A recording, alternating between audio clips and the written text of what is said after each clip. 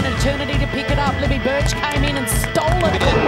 Libby Birch, she might have told us earlier, Kate McCarthy just positioning herself behind the football. Fumble from Pearce, but she's got Birch in support. It would make any defender nervous, but Libby Birch played that beautifully.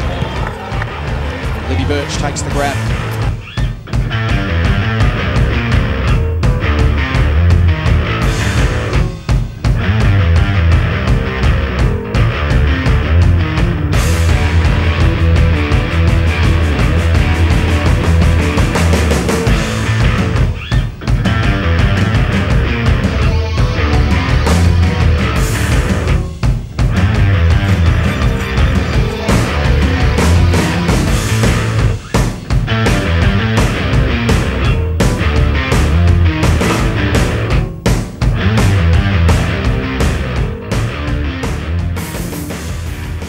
Congratulations, Liv, on reaching 50 games. Um, just wanted to wish you a very big congratulations on playing your 50th game this weekend. Uh, huge testament to the way you go about your footy and the way you prepare yourself.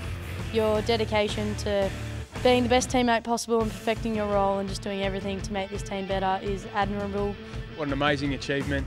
So happy to have you here at Melbourne. You're a, a quality team first player. You're so invested in your role for the team and you love nothing more than seeing this group succeed. So I uh, hope we can celebrate the occasion today with a win and uh, looking forward to what lies ahead for, uh, for you and the team. Congrats, Lib. Congrats, Lib, and uh, well done. So glad so many of the 50 have been here at the D's and look forward to watching you play many more.